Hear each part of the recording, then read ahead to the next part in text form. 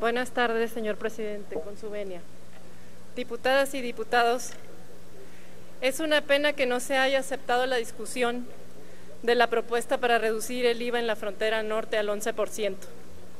Los legisladores del PAN buscamos quitarle lo tóxico a la reforma fiscal y que tenga un marco que permita el desarrollo, que permita generar condiciones de empleo para los mexicanos.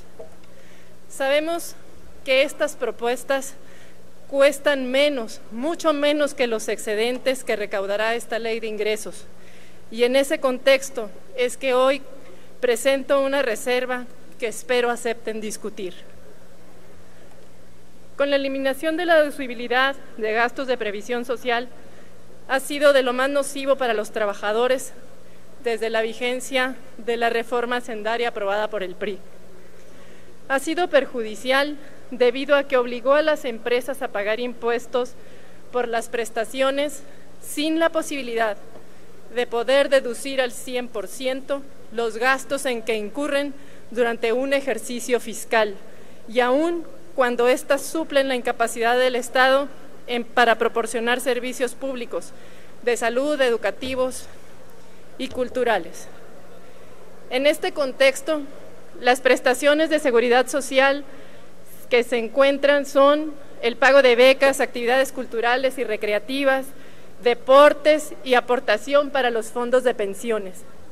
Esta medida ha sido perjudicial debido a que genera pérdida de competitividad en nuestro mercado laboral.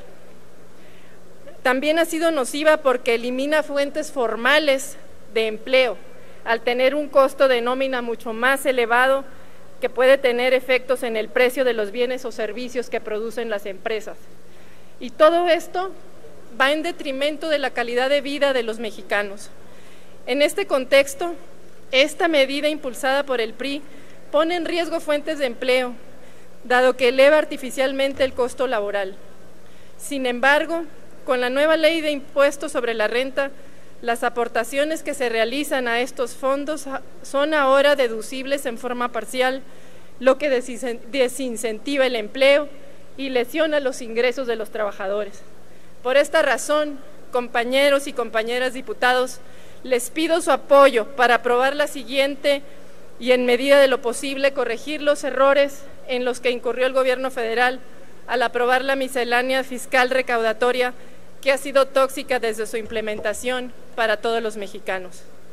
Con fundamento en lo dispuesto en los artículos 109, 110, 111 y 112 y los demás relativos y aplicables al reglamento de la Cámara de Diputados, tengo a bien someter a su consideración la reserva con la que se propone derogar la fracción trigésima del artículo 28 de la Ley del Impuesto sobre la Renta contenida en el artículo primero del dictamen emitido en sentido positivo. Dicho redacción está debidamente registrada en la mesa directiva de esta honorable Cámara de Diputados. Es todo, señor presidente. Gracias, diputada Talavera.